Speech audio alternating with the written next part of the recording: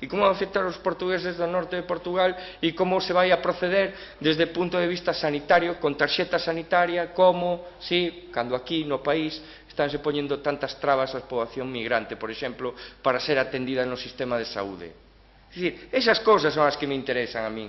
E os impactos, cando falo de impactos é iso, os resultados e a poboación beneficiada, e como. Eso e non anuncios, porque de novo, claro, un protocolo de cooperación está ben, pero o que importa é a aplicación concreta.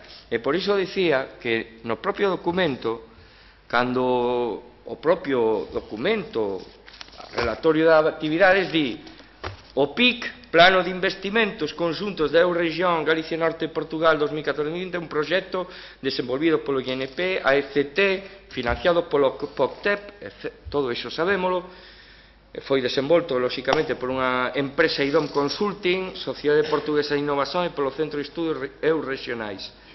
Ben, e di, efectivamente, que ten un carácter estratégico, e marca a estrategia de Galicia e do norte de Portugal. En esa estrategia, cando vamos a ver o concreto, é onde digo eu que só vexo carácter declarativo, non vexo o impacto real. E vostede non pode dicir que eso vai ser cando se definan as cousas, porque entón como se poden eh, facer un relatorio de actividades, de programas, de, de todo de proxectos e dice que se vai, por exemplo, eh, Vamos a ver, o programa Jacobos de mobilidade xa se falou bastante del.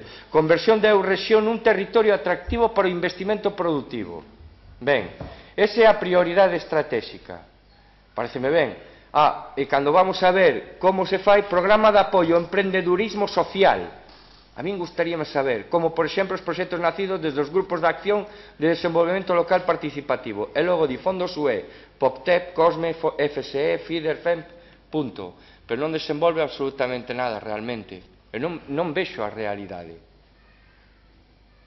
Non sei, non sei se me entende por onde vou. É dicir, eu vexo simplemente unha declaración de intencións para simplemente ter un documento que vostedes remiten ás instancias europeas, pero que realmente de, para poder facer isto, vostedes deben ter previamente xa algo feito, unha avaliación de resultados anteriores para poder proxectarse cara ao futuro.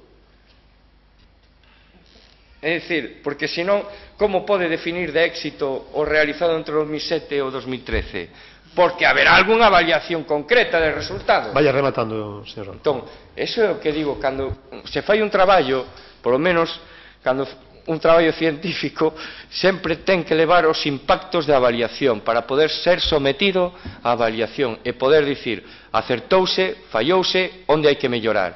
Porque agora mesmo o que vexo é simplemente eso, unha proposta declarativa, pero que ao mellor, cando vexamos a realidade, non hai nada de nada.